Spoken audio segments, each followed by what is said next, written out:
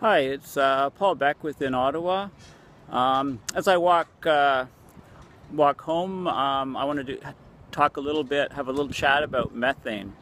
Um, you may or may not have been following uh, on the uh, in social media what's been happening, but uh, basically, um, well, let's start at the beginning. Okay, so um, a group I'm with, uh, AMEG, Arctic Methane Emergency Group has been talking to the world about the dangers of methane uh, coming up in the, uh, being released up in the Arctic.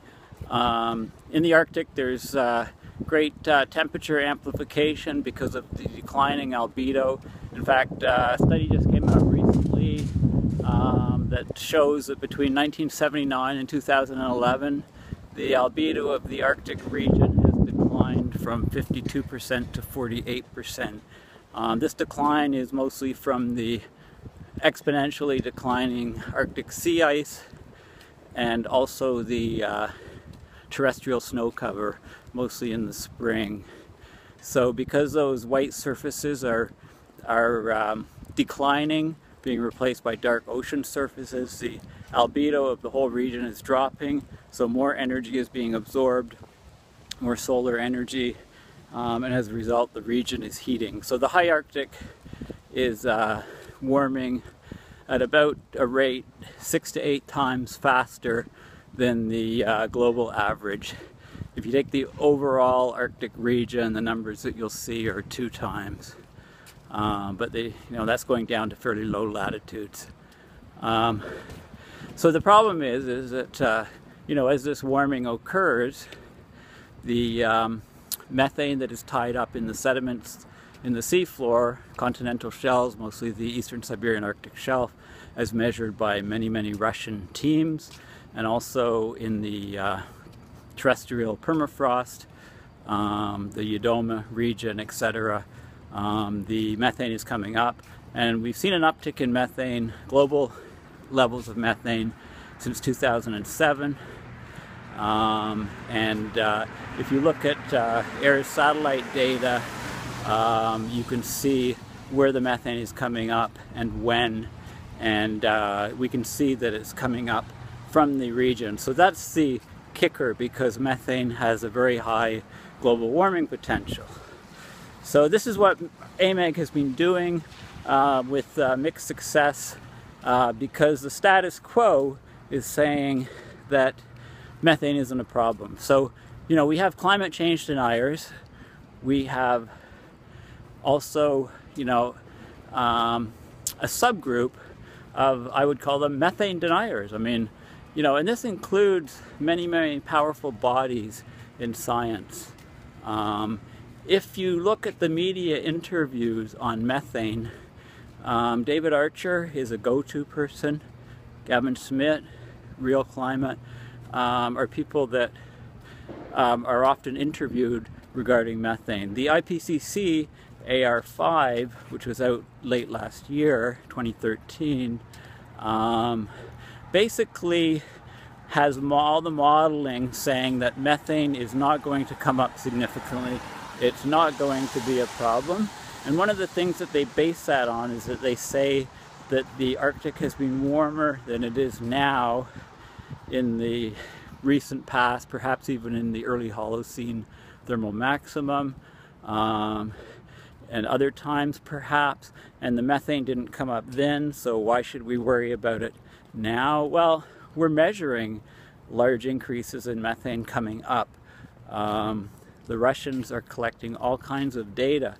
So the models, are, a lot of the models are slab models. They show that it takes a long time for heat to go into the sediments.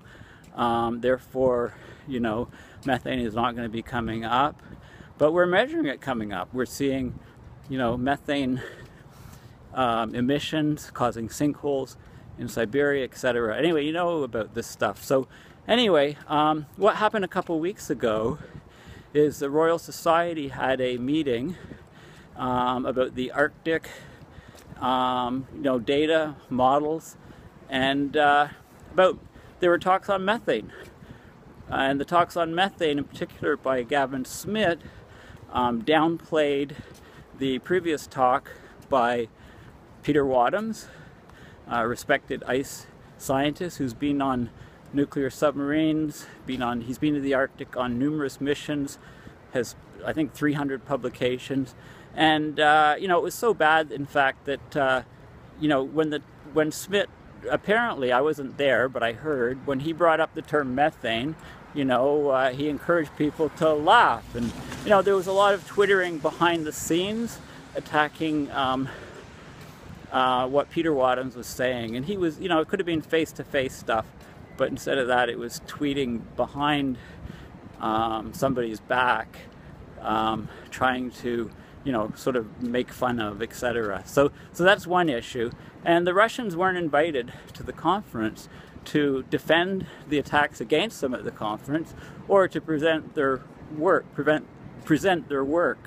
Um, and they were really annoyed at this, so they put together a letter and sent it to the organizers. In fact, they asked the Royal Society to withhold on the bulletin until uh, their data was shown and they were able to defend the accusations against their work. Um, and, uh, you know, there were also tweets saying, well, it's after the fact, the conference was two weeks ago, how's this important? I mean, people just don't get that, they just don't understand the precautionary principle. Um, if there's any chance that AMEG and the Russians. And it turns out, just today I came across a paper by Lawrence Livermore National Labs. Now this is a lab, the U.S. government lab that is look that, that was responsible for developing the uh, atomic bomb uh, and the uh, Manhattan Project programs and so on. It's a big, it's it's a big deal. This lab, and there's a paper from 2012 where they look at the risk of methane coming up.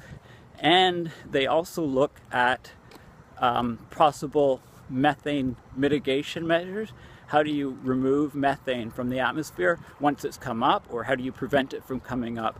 And they're looking at things like, or they looked at things like, and they probably still are, um, you know, how do you cool the Arctic to keep the methane in place, which has been AMEG's platform for three years. You know, this is something we need to do, or we're going to head to a different planet uh, because methane uh, uh, coming up in quantity will change the planet. You know, on a, on a 10-year time scale or 20-year time scale, the global warming potential is 86 times that of CO2. On a few-year time scale, it's more like 150 times. And if a, if a burst comes up, then it's 150 times number that's the important number.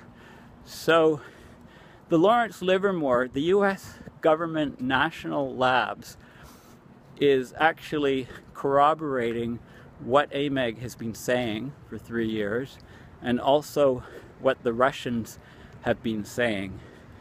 Um, so one has to ask what is going on? Why are there all these methane deniers in quotes um, in the mainstream scientific community?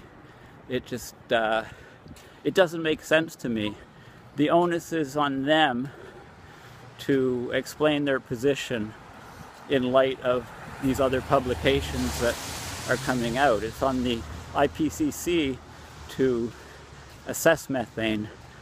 What we need is a global um, conference on methane in the Arctic and sea ice decline and snow cover decline, but the, the primary thing being methane. What is the actual risk or likelihood of large emissions of methane coming up? Because it will change our planet entirely if it does come up. So the idea of mainstream science, scientists, some anyway, um, ridiculing those of us, like Peter Wadhams, AMEG, myself, as being outliers, just does not make any rational sense whatsoever. So, thank you for listening to uh, this rant. I just had to uh, uh, kind of get this out uh, at the moment. So, and also I owed uh, people a uh, video. Um, haven't done any for a while. Okay, thank you.